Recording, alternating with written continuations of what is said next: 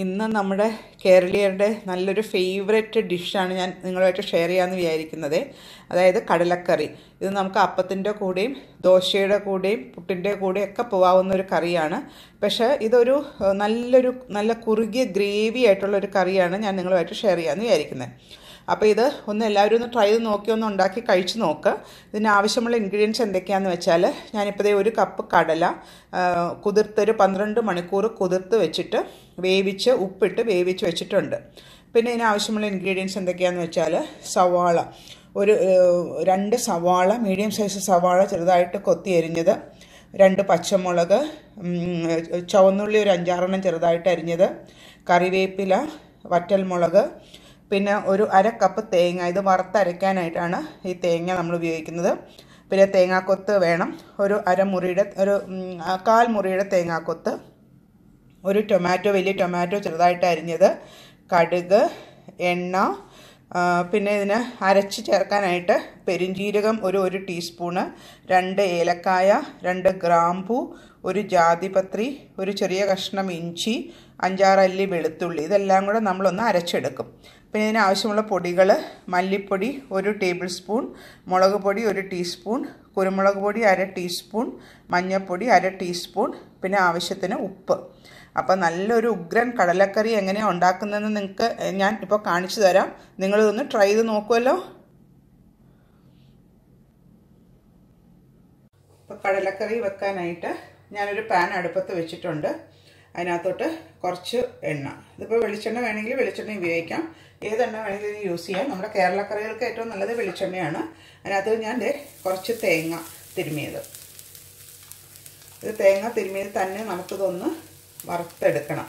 ചെറിയ തീയിലിട്ടിട്ട്.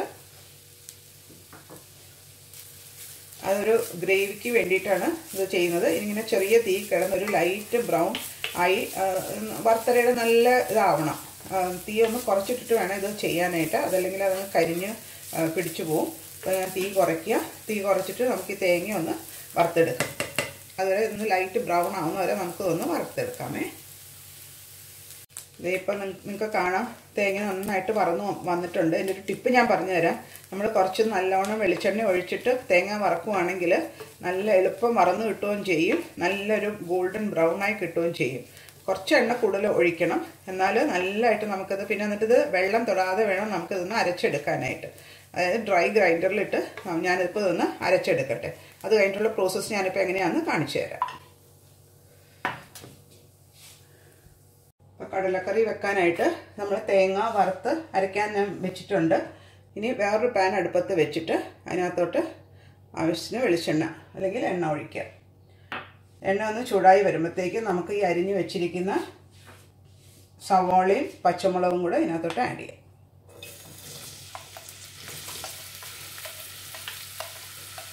ഇതൊരു ട്രഡീഷണൽ ആയിട്ടുള്ള കടലക്കറിയാണ്. തേങ്ങ വറുത്തരച്ച് ചേർക്കുന്നതാണ് അതിന് നല്ലൊരു പ്രത്യേക ടേസ്റ്റ് കിട്ടും. അത് നിങ്ങളൊന്ന് ട്രൈ നോക്കുമ്പോൾ നിങ്ങൾക്കത് മനസ്സിലാവും. ഇനിയിപ്പോൾ ഇതൊന്ന് ഒരു നല്ല ബ്രൗൺ ആവണം.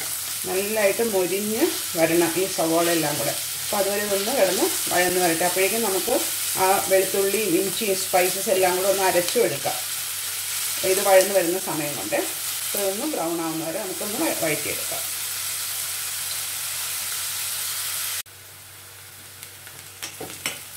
ഇപ്പോൾ സവാള ഒരു പകുതി മൂപ്പായിട്ടുണ്ട്. അപ്പോൾ നമുക്ക് അരിഞ്ഞു വെച്ചിരിക്കുന്ന തേങ്ങാക്കൊത്തും കൂടി ഇതിനകത്തോട്ട് ചെയ്തൊന്ന് മൂപ്പിച്ചെടുക്കാം.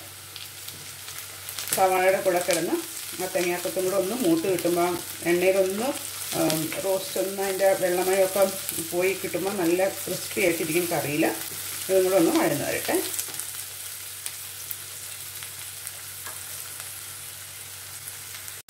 ഇപ്പോൾ സവാളയൊക്കെ നന്നായിട്ട് ബ്രൗൺ ആയി വന്നിട്ടുണ്ട്.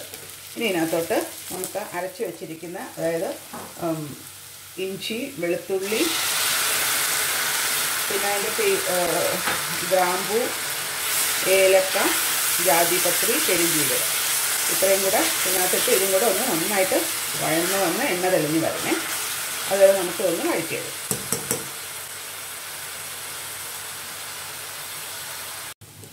ഇപ്പോൾ ഇഞ്ചി അരച്ചതും വെളുത്തുള്ളി അരച്ചതൊക്കെ നന്നായിട്ട് വഴന്ന് വന്നിട്ടുണ്ട്. ഇനി ആ പൊടികൾ ഞാൻ പൊടികൾ എപ്പോഴും ഞാൻ പറഞ്ഞിട്ടുണ്ട് ചേർക്കുമ്പോൾ ഒന്ന് വെള്ളത്തിൽ കുതിർത്ത് ചേർത്താൽ അത് കരിഞ്ഞു പോവാതിരിക്കും. അതായത് മല്ലിപ്പൊടി മുളക് പൊടി കുരുമുളക് പൊടി മഞ്ഞൾപ്പൊടി.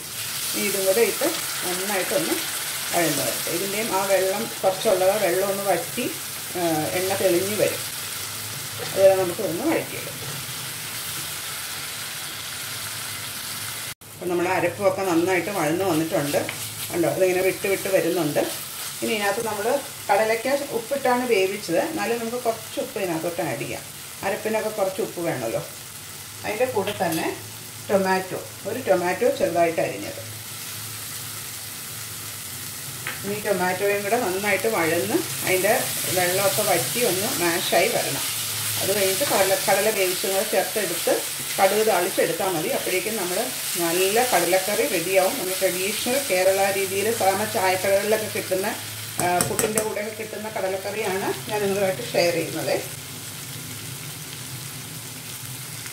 തക്കാളിയൊക്കെ ഒരുമാതിരി ഒന്ന് വാടി വന്നിട്ടുണ്ട്. ഇനി ഇതിനകത്തോട്ട് ആ കടലയ്ക്ക് വേവിച്ച വെള്ളം നമുക്ക് ആഡ് ചെയ്യാം. പിന്നെ കുക്ക് ചെയ്ത കടലയ്ക്ക. ഇതൊരു മൂന്ന് വിസിൽ വരെ വേവിച്ചാൽ മതിയായിരിക്കും കടലൊക്കെ ഇട്ടിട്ട്. ഉണ്ട് നല്ല കുറുകിയ ഗ്രേവി ആയിരിക്കണം. എന്നാൽ കുറച്ച് ഒഴിക്കാനും വേണം. പുട്ടിന്റെ കൂടെ അപ്പത്തിന്റെ കൂടെയൊക്കെ അല്ലെങ്കിൽ അങ്ങ് ഒത്തിരി ഡ്രൈ ആയി പോയാലും ഒക്കത്തില്ല. ഇതിനെ ഒന്ന് കിടന്ന് തിളക്കിട്ട് അതിന്റെ കൂടെ തന്നെ നമ്മൾ തേങ്ങ നേരത്തെ വറുത്ത് അരച്ചത് എടുത്തിട്ടുണ്ടല്ലോ. അതും കൂടെ ഇതിനകത്തോട്ട് ആഡ് ചെയ്യാം. ആ പേസ്റ്റും കൂടെ.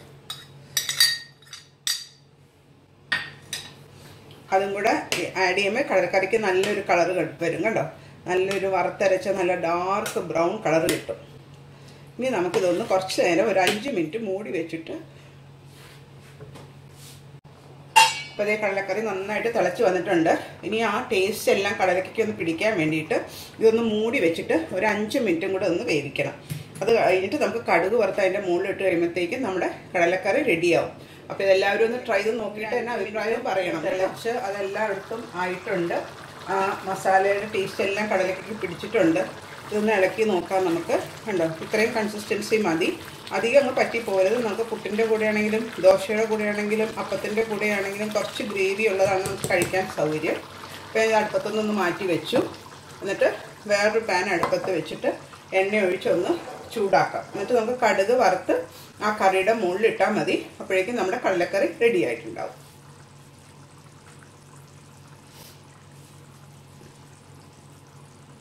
നമ്മുടെ കടുക് വറുത്ത് ചുവന്നുള്ളി നന്നായിട്ട് മൂത്ത് വന്നിട്ടുണ്ട്. അതിനകത്തോട്ട് ഞാൻ എന്റെ കറിവേപ്പിലയും വറ്റമുളകും കൂടി ഇട്ടു. എന്നിട്ട് ഇത് നമുക്ക് നമ്മുടെ കടലക്കറിയുടെ മുകളിലോട്ടൊന്ന് ഒഴിക്കാൻ മതി. കുറച്ച് ഗാർണിഷ് മാറ്റി വെക്കും. ബാക്കിയും കൂടെ ഇതിനകത്ത് ഒഴിച്ച് നമ്മുടെ കടലക്കറി റെഡി ആയിട്ടുണ്ട്. നല്ല കളറ് നല്ല വറുത്തരച്ച കടലക്കറി നാടൻ കടലക്കറിയാണേ.